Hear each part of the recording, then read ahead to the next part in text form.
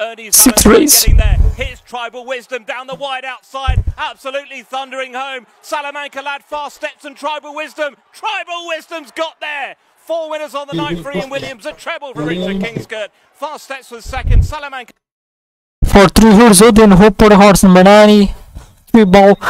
Wins down all 7 and 4 number 1 in second, 4 and 30, 6 and 4th, 2, 3, 5, 10, 18, 11. Guys, think